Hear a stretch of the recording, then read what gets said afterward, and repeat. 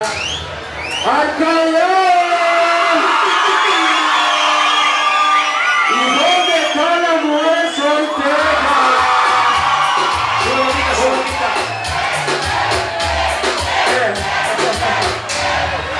¿Y dónde está la gente que vino a perrear?